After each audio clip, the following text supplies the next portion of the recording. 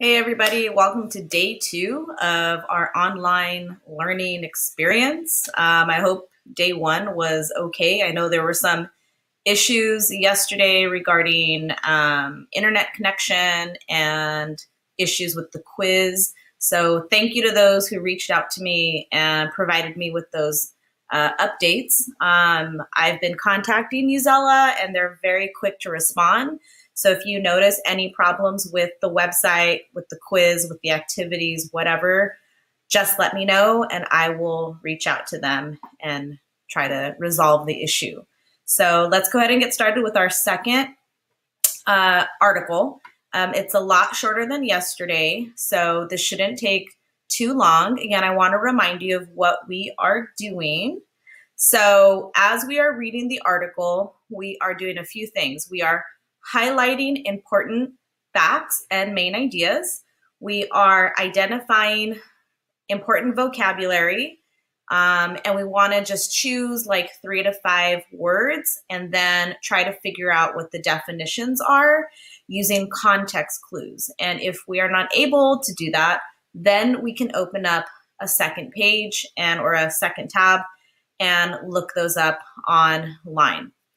The third thing we are doing is writing questions or comments.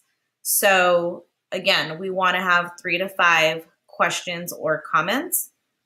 When we are done with that, we're going to work on the activities.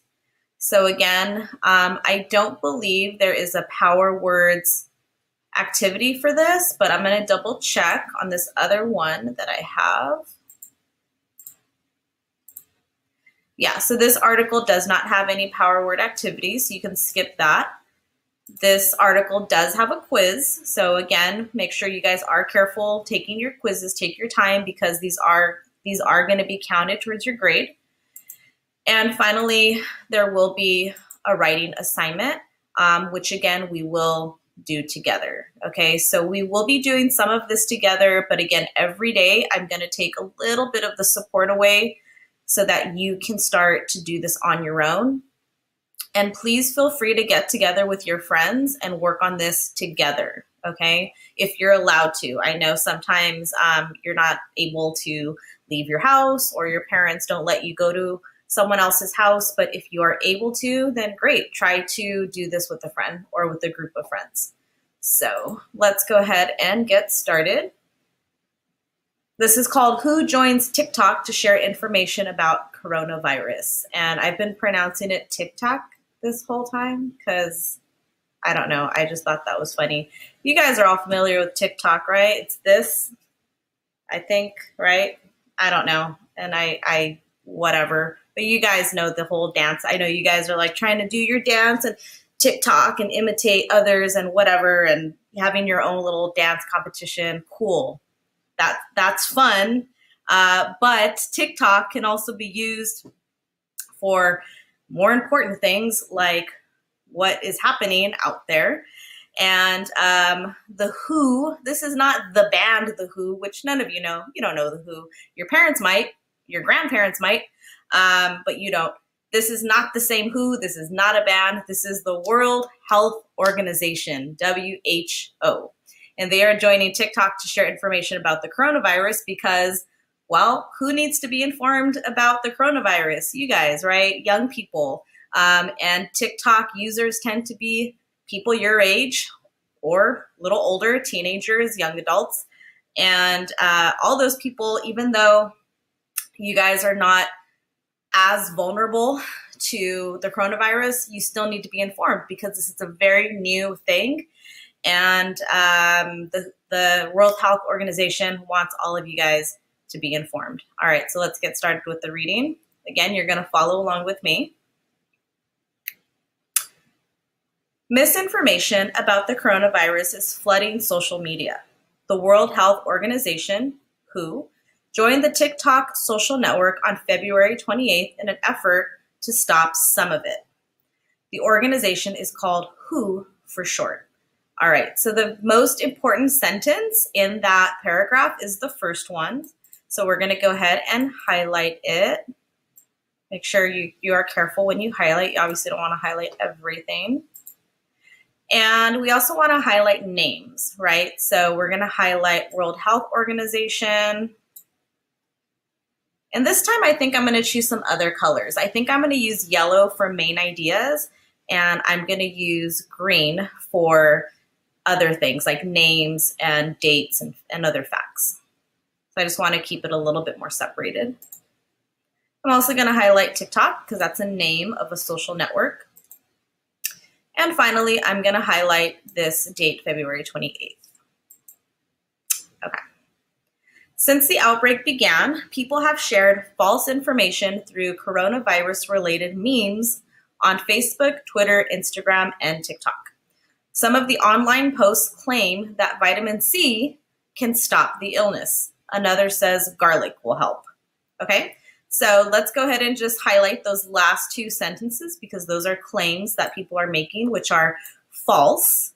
And it's important that you guys know that because I'm sure you've been on TikTok, Twitter, Facebook, Instagram, maybe not Facebook, that's more like my generation, but definitely um, you guys probably go on Instagram, definitely TikTok, maybe even maybe even Snapchat, and you guys are reading about coronavirus, and a lot of the information is false. So we got to clear the record on that because misinformation can be dangerous. So I'm going to highlight those last two sentences. So now you know vitamin C and garlic are not going to stop the illness, right? Garlic is for vampires, okay? If you have a vampire in your house, then garlic will kill the vampire. I'm just kidding. There are no vampires. Um, okay, so I'm going to also highlight Facebook, Twitter, Instagram, and TikTok. And that is going to be green because those are names, not main ideas. So we're going to separate our main ideas from names, dates, and the like. Both of those claims have been shown to be false. The United States has started human testing of a drug to treat the virus. However, so far there isn't a cure. The Centers for Disease Control and Prevention says. This is the CDC. Its symptoms can include a fever, cough, and shortness of breath. Okay, so let's go ahead and we want to just choose the most important fact from that last paragraph. And I feel like the first sentence is probably the most important because it tells us that the um, the the vaccine um, is starting to be tested, right? So the US has started human testing of a drug to treat the virus, okay? And that is important. That's a main idea, okay? So I'm gonna highlight that. But I also wanna highlight Centers for Disease Control and Prevention, which is the CDC. I'm gonna move my camera over. And that'll be in green. And I also feel like that last sentence is important because it tells us what those symptoms are. Okay. So let's go ahead and highlight that in yellow. Sometimes paragraphs can have multiple main ideas. And interestingly enough, this one, it's the first sentence and the last sentence, right? Your say and your so. Um, not every paragraph is going to be in a say, show, so format. But in this particular paragraph, that first sentence, the topic sentence is important. And then that last sentence is important too because it has specific details about the symptoms. So we're going to highlight that. Okay, and before I move on, I'm going to go ahead and just stop and we before we go on to like the next section, which is reliable public health advice, I want to now select one important vocab word and maybe write a question or comment. Okay, so I want you guys to go ahead and look for your own vocabulary word. I'm going to pause the video. I'm going to look for a word. You're going to look for a word and let's see if we can highlight. Let's see if we can both figure out the same word, right? We may choose other words. That's okay. Let's just stick with one. Okay, one word. I'm going to pause my camera. I'll be right back. All right, everybody, I'm back. I went ahead and selected the word that I felt was the most important, and I selected the word virus. I went ahead and highlighted it in a different color, and originally it was highlighted in yellow with the sentence, but what I did is I deleted the highlighting and then I re-highlighted it, but just up to the word the, and then I highlighted the word virus in purple. Now, you probably already know what a virus is, right? And sometimes you're going to know what these words mean already, but we want to also focus on important words, not just words that you already know or don't know, but words that are important to the um, to the section. Okay, and I went ahead and selected virus um, because it's an important word of the section. Right, we're talking about the coronavirus. We're talking about vi viruses in general. We can also be talking about. So I'm going to go ahead and select virus. I highlighted it, highlighted it, and now I'm going to go ahead and write it down okay, in my annotation. And we know that a virus is an illness, right? Or it's a disease that can cause an illness. But I want to be very clear about what a virus is because there's a lot of misinformation about what these things are. And it's important that you know the truth, that you know actual facts. So I'm going to go ahead and do a search on what a virus is because I want to make sure that I know I know personally what the truth is um, and not just an assumption. So it is an infectious agent. A virus is a biological agent that reproduces inside the cells of living hosts. You are a host. Your body is a host to chemicals or to viruses or to anything that it comes in contact with, right? So a virus, if I'm going to put this in my own words, right? Um, a virus is an agent, it's a biological agent, meaning it's going to go into your body and it's going to reproduce inside the cells of your body. Okay, so I don't want to copy the definition, I'm going to put it in my own words. So I'm going to go ahead and write a biological agent that reproduces itself in living hosts. Okay, so now we know a virus, um, it reproduces itself, right? It's it grows, it reproduces in in living um, bodies and living hosts, animals, you, um, anything else that's alive. It can um, uh, a virus can reproduce itself, replicate itself, and then basically try to attack, right? So I'm going to go ahead and save that. Okay. All right, let's go ahead and now we're going to move on to our question or comment. So I got my one word and I'm going to write a question or comment. So I now want you to think of your own question or comment. And I'm going to pause the video again to give you time to think. All right, so I have my question and it is for this first sentence here. So I'm just going to click on it and because I'm going to be making a question for this first sentence, I'm going to go ahead and change the color now to red. So red will be for questions and comments. Okay, so we want to use our colors purposefully. So each color needs to represent a different strategy that you're using to close read. Okay, so I'm going to go ahead and write Q for question. And my question is very simple. Why is misinformation. I'm going to say it first, then I'm going to write it. Why is misinformation? Why is misinformation about the coronavirus being spread on social media? Okay, like why? How come um, so many false claims and fake news, as it's called, why is it being spread in social media? What's the purpose of that? Why? So I'm going to go ahead and write that.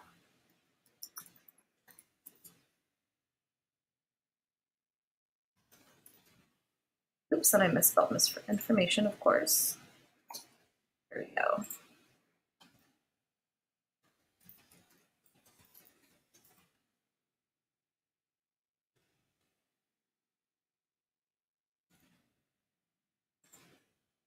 Okay.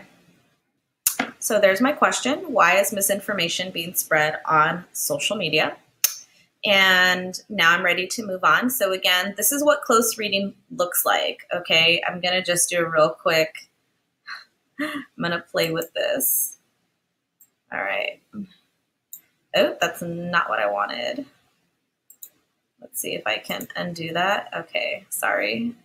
I'm still learning how to play with this. Uh, yeah, whatever. Okay. So anyway, what you see here, I'm circling with my cursor. This is what your reading should look like online. Okay, this is what I want to see when it's time for me to start checking your work. I want to see different color highlights. I want to see questions, comments. I want to see vocabulary. I want to see main ideas and facts highlighted. And this is what close reading is. Close reading is not just sitting there and reading and that's it. Close reading is you are interacting with the text. Okay, you are interacting with the information, you are sharing your ideas, you are asking questions, you are analyzing. This is reading analysis. Okay, comprehension is your ability to understand, analysis is your ability to ask questions, to break down the reading and make sense of it even further. Okay, so think of comprehension as the what and analysis as the why and the how. Okay, so this is what I want to see in your reading. Let's go ahead and continue. Reliable public health advice. In its first post on the platform, who the public safety organization wrote, we are joining a tick at TikTok to provide you with reliable and timely public health advice. Our first post, how to protect yourself from hashtag coronavirus. Okay, I'm gonna stop right there. And I'm gonna go ahead and highlight that quote because it tells us directly what the World Health Organization is putting out there on TikTok.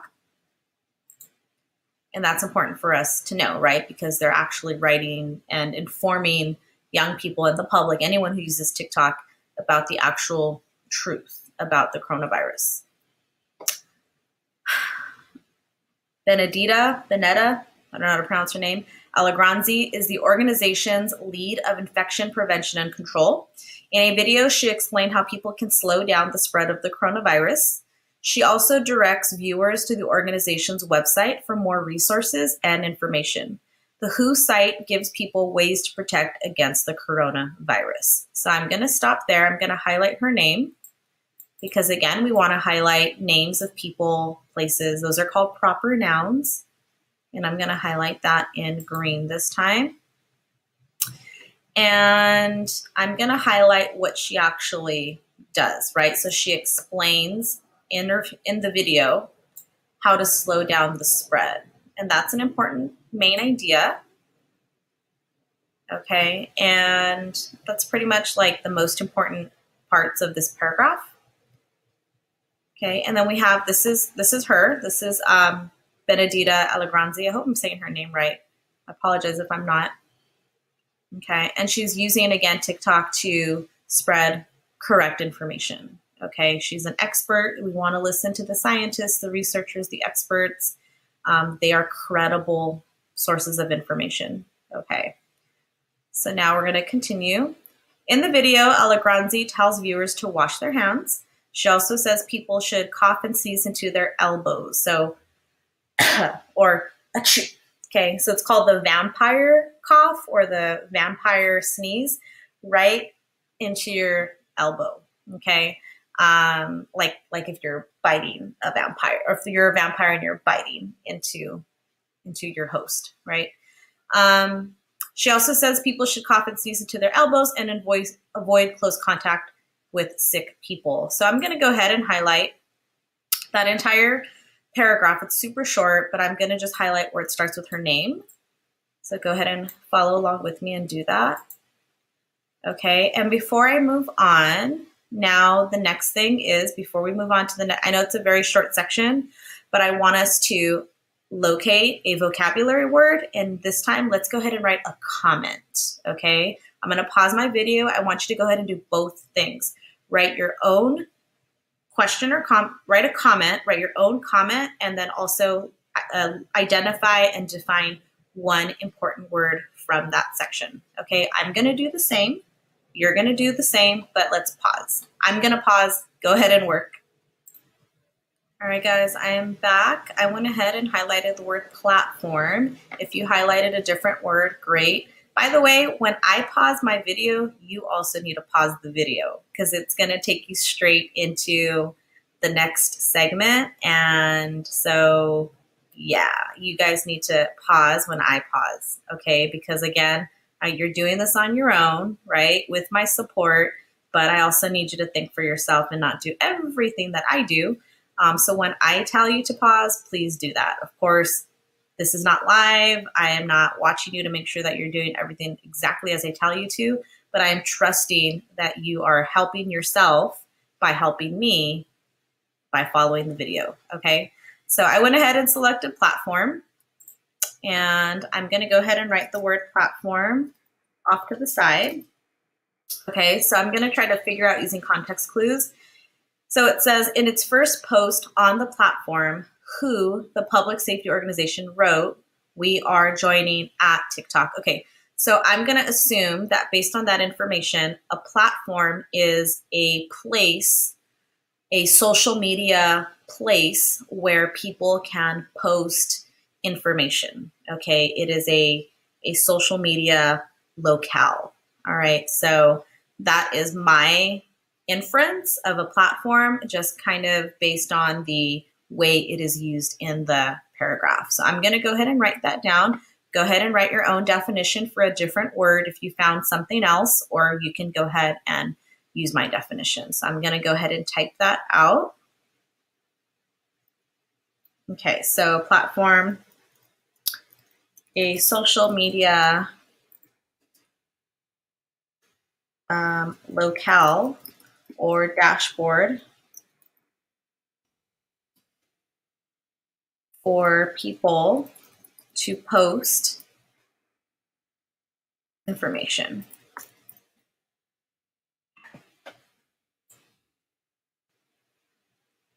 Okay, so social media locale or dashboard for people to post information. So that's my um, definition of platform. Okay, and again, you want to write your own definitions based on your based on the context clues and if you're still not able to figure out what a word means, then you can look it up. Okay, but I want you guys to use context clues. And now let's go ahead and write our comment. So I'm going to go ahead and pause it again. Go ahead and pause the video, write your own comment. All right, guys, so I am back. I went ahead and highlighted the title of the um, section. And here is my comment, I wrote, I think it is smart of the WHO to use various social media platforms to raise awareness of the coronavirus and to inform the public of the facts. So that is my comment. That is what I think. You might have something different. You might, you can use the same thing that I wrote. That's fine. Um, but again, this is, uh, we want to highlight now the, the title of the sections, okay? Because we are commenting and questioning the entire section. I know in the first section, there really wasn't a subtitle because we have, it's the introduction, right? So in the introduction, it's okay to select a piece of information to highlight and then write your question or comment. But for sections where it has the subtopic um, or the subtitle, then you want to just highlight that because you're really questioning and commenting the entire section, right? Okay, so now let's go ahead and move on to, it looks like this is the last section. Definitely a lot shorter of an article than yesterday. Combating infodemic.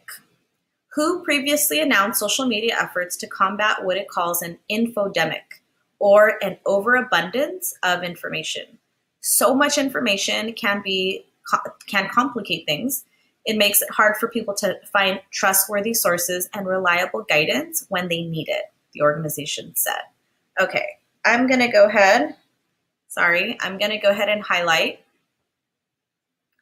Let's see. Probably the quote, right? So when you have quotes, things that people say, um, we want to definitely highlight that because it's important.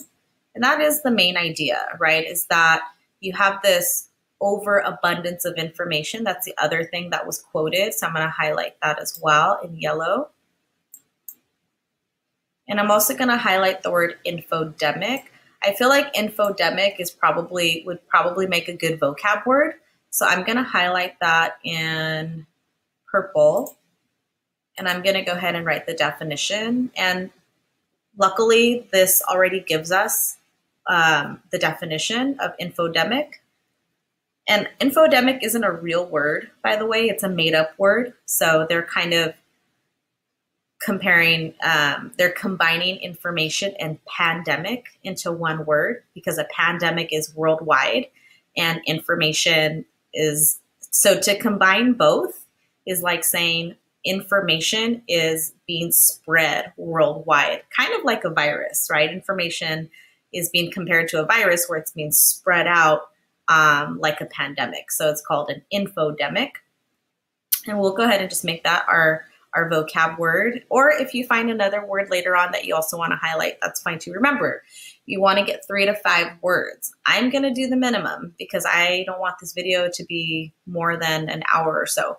But you can definitely find more vocab words. Okay, so I'm going to go ahead and write infodemic. And what's the definition of that? Information that is spread across the world like a pandemic.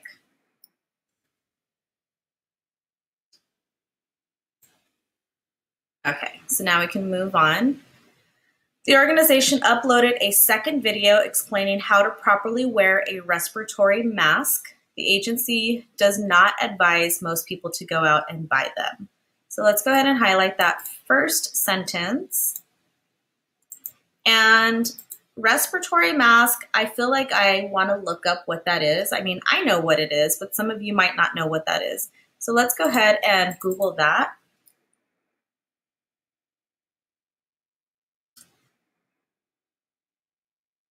And so basically these are respiratory masks up here and they are masks that you put over your nose and mouth area. Okay, so that's what they look like. And they're saying to people, don't buy them, right? Don't buy them. So let's find out why. Not everyone needs a mask. If you don't have respiratory symptoms such as fever, cough, or runny nose, you don't need to wear a medical mask who says in the video. Okay, so let's go ahead and highlight that quote. It's important to know because a lot of people are out there buying masks that they don't need to buy. And when you buy things that you don't need, you are taking away from people who do need them. So be mindful of that with respiratory masks and toilet paper and food, right? We want to make sure that we protect our families, but we also don't want to overbuy um, and take away from those who are more needy. Okay, so just a word of advice there. It's been widely reported that medical masks are in short supply as the coronavirus spreads across the globe. Let's go ahead and hi highlight that sentence. The coronavirus has killed at least 3,000 people across the world, mostly in China. There have been 11 reported deaths in the United States as of March 5th. Now, this article was written a few days ago. So if you look at the updates of how many people have died in the US, it has gone up. So as of March 5th, which was several days ago, it was only 11, but the number is higher now. Okay, you can totally look that up yourself later on, but let's let's finish this and more than 100 confirmed cases. However, experts predict a big increase is on the way, right? That's what I was just saying. We know that a lot more people have been infected and have died. So let's go ahead and highlight um, 3,000 people. Actually, let's back up. We're going to highlight coronavirus has killed at least 3,000 people. And we'll highlight that in yellow. That's the main idea. But I'm also going to highlight China in green because, again, we want to highlight names and places and things like that. I'm going to highlight 11 reported deaths in the United States as of March 5th. That'll be in green.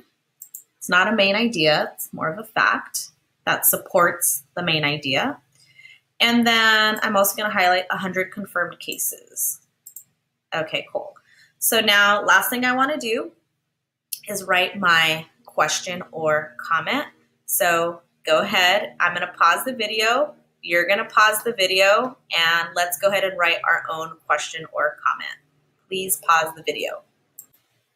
All right, so I went ahead and wrote my comment. I chose to write a comment. You may have chosen to write a question. Again, we want to highlight the um, subtitle. And I went ahead and wrote a comment and I put, I think people have really panicked and not thought, really thought it through when they overbought food, masks, and supplies, right? I think people just kind of went out and just bought, bought, bought, and not really thought it through. Like, do I really need all this stuff right now? Um, especially things like fruit and vegetables, produce, right? When all these people go to the market and they buy all this produce, it's not going to last for weeks and weeks and weeks, guys. Fruits and vegetables go bad within a few days. So to buy all of these um, fruits and vegetables, you know, number one, that that's showing panic. Number two, um, it's going to go bad. And so now we have food waste. And number three, we're taking from people who really do need those items. Okay. Same thing with the masks. Not everybody needs a mask and a mask and, and supplies, right? Only buy what you absolutely need because we need to make sure that we are sharing, that we are um, making these supplies available for everyone. Okay, so that's my opinion. That's what I think. You may disagree, and that's great. I want you guys to disagree with me. I want you to form your own opinion about what's happening. Okay, so now we got that done. So now we're going to go ahead and move on to the activities. Again, please take the quiz yourself. Okay, but let's go ahead and do the writing together. I'm going to switch here to this one just because I can't write on my own account. I have to use a student account for this. I'm going to move my camera down there. Okay. So the question is choose a problem and solutions described in the text. Explain what the problem is and why it matters using examples, facts, and details from the text. If possible, describe any solutions proposed in the text okay, you're going to really be on your own with this one, okay? Um, I'm going to give you an outline of what your paragraph should have, but you are going to be writing your own paragraph for this, okay? You may want to also open up your transitions document. So if you need to pause the video and open that up, go ahead and do that. Um, you should also have a list of transitions in your interactive notebook, okay? So um, you may need to, you know, you can have that open on at your desk while you are working on this. Okay, so let's begin by writing say, show, so.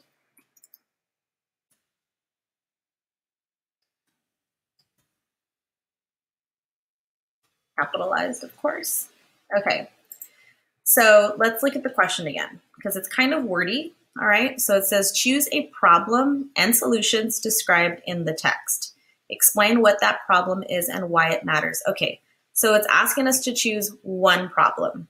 If it said problems, then we would give more than one, but we're going to focus on just one problem. Okay, so your say is, okay, and I'm again, don't copy what I'm writing because I'm going to give you an outline. You have to write this down. Okay, so I'm just going to give you a question. What is one problem according to the text? So your say needs to be one problem according to the text. What's the problem? Okay. And then your show is going to be all of the examples and facts and details. Again, you want to try to give like two to three. Okay. So now for your show, you're going to provide uh, provide two to three examples from the text to explain the problem. Okay, remember you want to give an example and then explain it. Give another example and then explain it. Okay, so your show should really be at least four sentences. Okay, and then your so is going to be the solution, okay, the solution to the problem. So it does say solutions, meaning um, plural, right? So we want to give um, two solutions, okay? Um, but because again, your so is going to be is needs to be one sentence. Um, I will allow, for the sake of the question, the so to have two sentences for this because you want to give two solutions. Okay, so I'm going to go ahead and write provide two solutions to the problem. You can go ahead and provide two sentences for that, okay? Your paragraph, again, should be anywhere between five and 10 sentences. Those of you who are struggling writers, you want to give at least five, I would say even maybe six sentences at this point. Those of you who are more developed writers, um, try to shoot for that like seven to 10 sentence range, okay? And then you're gonna submit your response when you are done, okay? So go ahead and work on the writing. When you are done, submit it, take your quiz, do well on the quiz, take your time. I know you guys wanna get through the quiz real fast. Remember, I'm, I'm checking these. I'm gonna grade these. This is part of your grade. Whether you know what, what, whenever we come back, I don't know, but I still have to submit report cards. Um, and again, you're you're. It's not always just about the grade, guys. I I need to get evidence that you're learning. I need evidence that you are taking your time and you're reading and you're doing a good job. So, um, and again, work on this with friends. Okay, if you're working on it together, you can help each other. Okay, um, so try to do that. Or if you have brothers or sisters, a lot of you have siblings and you, who are in the same grade as you work together on this. Okay, do this together. Anyway, I'm out for the night. Well, I'm. This is morning, right? I'm. I'm you're watching this today. Today is Tuesday, but I'm. I make the videos the night before, so it's technically Monday night right now. But I'm. Yeah, I'm tired. All right. Good night. Goodbye. Have a great day. Stay safe. Stay clean um, eat your fruits and vegetables, and do your chores. All right. Bye, guys. Miss you. Love you.